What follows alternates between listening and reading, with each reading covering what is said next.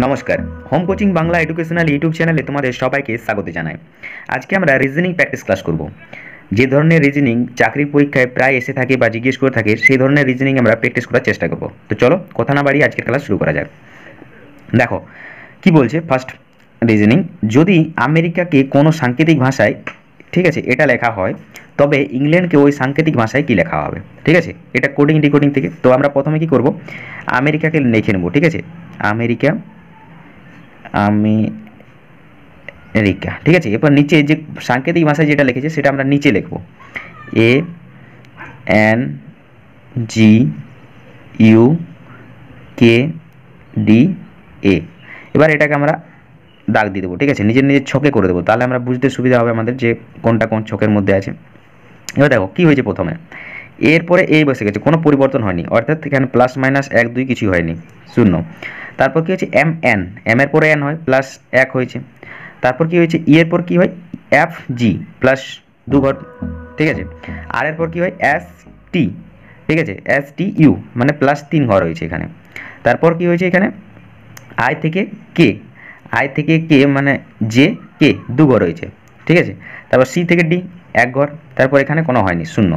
তাহলে এইভাবে আমাদের বেড়ে যাচ্ছে সিরিজটা, ঠিক আছে? তাহলে এবার আমরা ইংল্যান্ডকে দেখব, কি হচ্ছে? E N G L A N D ঠিক আছে? তাহলে সেম এখানে কোনো হয়নি মানে এখানে প্লাস ওয়ান ঠিক আছে? ইয়ে প্লাস জিরো তাহলে ই হবে এখানে। তারপর কী হয়েছে? প্লাস ওয়ান তাহলে ই এর পরে প্লাস ওয়ান মানে কি? ও ঠিক আছে? তাহলে প্লাস টু জি এর পরে প্লাস টু তাহলে জি এর পরে এইচ তারপরে আই তাহলে আই হচ্ছে। তারপরে এখানে প্লাস থ্রি তাহলে এল থেকে প্লাস থ্রি করতে গেলে J K L M N O ঠিক আছে? আবার ও হচ্ছে এখানে। তারপরে কি হবে? এ ঠিক আছে? মানে হয়েছে দুগর ঠিক আছে? প্লাস টু অর্থাৎ সি হবে এখানে। তারপরে প্লাস এক ঘর, ঠিক আছে? তাহলে এম এন ও ও হবে, তারপর এখানে কোনো প্লাস মাইনাস হবে না, অর্থাৎ ডি যে আছে তাই বসে যাবে। ঠিক আছে? এটাকে আমরা যেভাবে আগে দেখলাম, ছকটায় কী রয়েছে সিরিজটাতে, সেটা অনুযায়ী এটা করার চেষ্টা করলাম। তাহলে অপশান আমাদের দেখতে হবে, এবার কী রয়েছে অপশান মিলেছে কি? হ্যাঁ অপশান মিলেছে। অপশান এ মিলে গেছে আমার। তাহলে option A is the right answer ঠিক আছে? নেক্সট দেখো, বিবৃতি সিদ্ধান্ত থেকে একটা রিজনিং নিয়েছি আমরা। এখান থেকে রেলে অনেক প্রশ্ন আছে তাই এই চ্যাপ্টারটাকে আমরা জোর দেওয়ার টার্গেট নিয়েছি। তো দেখো, সিদ্ধান্ত বিবৃতি যখনই আমরা করতে যাব, তখন আমাদেরকে ভালোভাবে পড়তে হবে আগে জিনিসটা, ঠিক আছে? তো দেখো কি বলছে? কিছু বই হলো কাগজ। ছক করব আমরা এবার। কিছু, কি বলছে? বই হলো কাগজ। কিছু বই হলো কাগজ। ঠিক আছে? তারপর কিছু কাগজ হলো খাতা। কিছু কাগজ হলো খাতা। তবে কিছু খাতা হলো পেন। কিছু খাতা হলো পেন। ঠিক আছে? চক আমাদের রেডি এরপর আমাদের সিদ্ধান্ত দেখতে হবে, কোনটা মিলছে? কিছু বই হলো খাতা। কোথায় বই আর কোথায় খাতা? তাহলে এক আমাদের হচ্ছে না। দ্বিতীয়, কিছু কাগজ হলো পেন। কিছু কাগজ হলো পেন। হচ্ছে না। ঠিক আছে, দুইও হচ্ছে না। তিন নম্বর সিদ্ধান্ত কী রয়েছে? কিছু বই হলো পেন। কিছু বই হলো পেন। না, এটা তো হচ্ছেই না। তাহলে তিনটে সিদ্ধান্তই আমার হলো না। এবার আমাদেরকে দেখতে হবে যে কোনো স্টেটমেন্ট অর্থাৎ বিবৃতিটা মানে রিইউজ হয়েছে নাকি? ঠিক আছে? যদি কোনো বিবৃতি আবার ইউজ হয়ে থাকে, তাহলে সেখানে নাইদার আয়দারের ব্যাপার আছে। তো সেগুলো দেখে নিই আমরা একটু। না, হয়নি। তাহলে আমাদের এখানে কী হবে? উত্তর সঠিক। কোনোটিই সত্য নয়। A is the right answer ঠিক আছে? কোনো নেক্সট দেখো, ঠিক আছে? এটাতে কি হয়েছে? এটাও একটা লুপ্তপ্রায় সংখ্যা নির্ণয়ের রিজনিং তো এখানে কি হয়েছে? এটাও দেখে নিই আমরা একটু। ছকটা তো তোমরা দেখতেই পাচ্ছ, ঠিক আছে? সাত, নয়, উনআশি, দশ, আট, আটানব্বই, বারো, সাত, তাহলে এখানে কি হবে?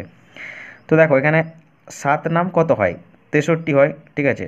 সাত, নয় হয় তেষট্টি। দিয়ে সাত আর নয় কত হয়? সাত আর নয় ষোলো হয় ষোলো, তাহলে যোগ করলে কত হচ্ছে? নয়, সাত, ঠিক আছে? পেয়ে গেলাম আমরা, যেখানে এই রুল ফ্লো করেছে। এর পরেরটা দেখি কী রুল মিলছে কি না তাহলে আট আর দশ, ঠিক আছে? এখানে আশি হচ্ছে। আর এখানে হবে যোগ ফলেদের আঠারো। তাহলে আটানব্বই হয়ে যাচ্ছে, মিলে যাচ্ছে। তাহলে নিশ্চয়ই এটাও এই রুলেই হবে। তাহলে সাত আর বারোতে কত? ঠিক আছে? সাত আর বারোতে হচ্ছে চুরাশি।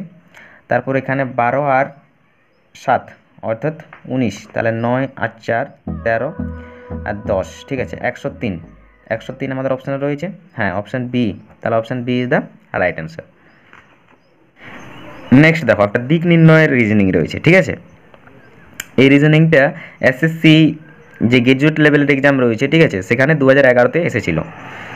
তো দেখো, এক ব্যক্তি পশ্চিম দিকে হাঁটা শুরু করল। যখনই আমরা দিক নির্ণয় করব, তখন আমরা একটা ঠিক আছে, কখনো কখনো ভুল হয়ে যায় তো, জানা সত্য, তো আমরা একবার এখানে দাগ করে নেব, ঠিক আছে?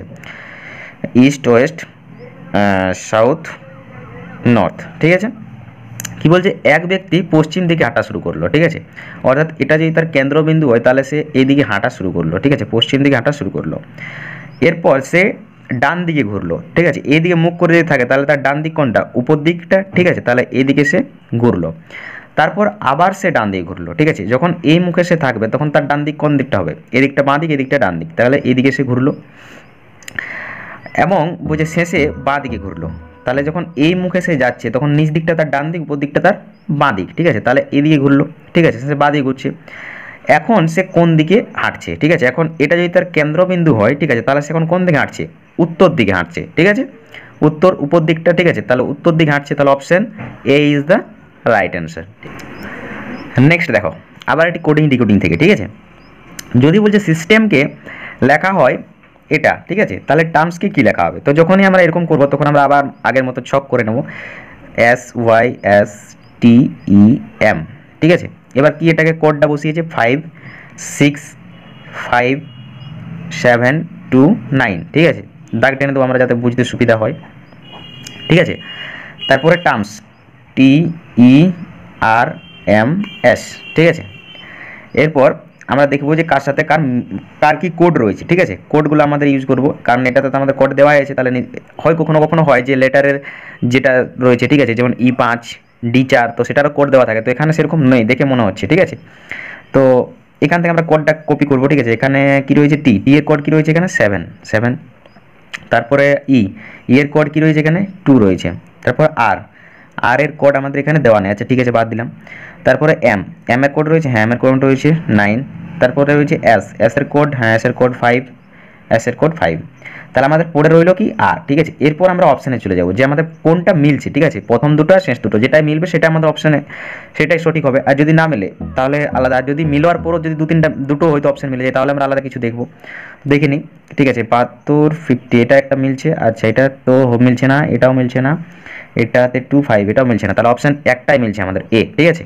তাহলে A is the right answer next এবং লাস্ট প্রশ্ন, ঠিক আছে?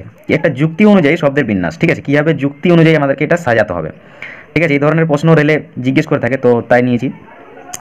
লোহা, রূপো, প্লাটিনাম, হিরে, সোনা, ঠিক আছে? এবার অপশান রয়েছে এক, দুই, পাঁচ মানে আমার অপশানগুলো আগে দেখতে পাবে আমাদের, ঠিক আছে? যে কোনটাতে ফার্স্ট দিয়েছে, তাহলে প্রত্যেকটাতে তিনটাতে দেখো, এক, অর্থাৎ লোহাকে ফার্স্টে রেখেছে। তারপরে একটাতে মাত্র রূপোকে ফার্স্টে রেখেছে। তাহলে আমাদের বেশিরভাগ চান্স রয়ে গেল লোহার পরে আর তারপর দেখো দুই রয়েছে দুই রয়েছে দুই রয়েছে। তিনটাতে দুই কমেন্ট রয়েছে, ঠিক আছে? তাহলে লোহার পরে রূপো মানে আসছে। তো এবার আমাদেরকে যুক্তি ভাবতে হবে। তাহলে যুক্তি যদি আমরা এটাকে দাম হিসাবে, দামি হিসাবে ভাবি, তাহলে হিরে আগে হতো, অর্থাৎ চার তো চার আমাদের একটাও নেই, তাহলে সেই দাম হিসাবে হচ্ছে না। সোনা হতো আগে, তো সোনাও সেটা হচ্ছে না, পাঁচও আগে নেই।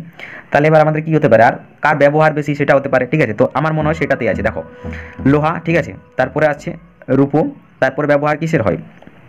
অপশান এবার দেখি আমরা পাঁচ, ঠিক আছে? তাহলে সোনা, তারপরে আসছে হিরে, তারপরে প্লাটিনাম ঠিক আছে? এটাই আসছে তো। তাহলে অপশান এই হবে রাইট ঠিক আছে? কারণ ব্যবহার অনুযায়ী তাই হচ্ছে। লোহা, তারপরে রূপো, তারপরে হচ্ছে সোনা, তারপরে হচ্ছে হিরে, তারপরে হচ্ছে প্লাটিনাম ঠিক আছে? তো আজকের ক্লাসটা এই পর্যন্তই ছিল। আর আবার দেখা হচ্ছে পরের ক্লাসে ঠিক আছে? তোমাদেরকে মানে কী বলব, যতটা সম্ভব আমি চেষ্টা করছি অঙ্ক রিজনিং জিকে জিএস সব কিছুতেই স্ট্রং করে তোলার। তো যদি ভিডিও ভালো লাগে, তো প্লিজ লাইক করো আর চ্যানেল নতুন হয়ে চ্যানেল সাবস্ক্রাইব করো। আর যে ধরনের ভিডিও তোমাদের প্রয়োজন, যদি কোনো তোমাদের মতামত থেকে থাকে, তো প্লিজ কমেন্ট করো, ঠিক আছে? কারণ তোমাদের প্রত্যেকটা মতামত আমি খুব মনোযোগ সহকারে পড়ে থাকি। আর যে সমস্ত বন্ধুর এই ধরনের ভিডিও প্রয়োজন, তাদের কাছে প্লিজ ভিডিওটিকে শেয়ার করো। যাই হোক, দেখা হচ্ছে পরে ভিডিওতে ভালো থেকো, সুস্থ থেকো, জীবন প্রতিষ্ঠিত হও, নিজের খেয়াল রেখো। বাই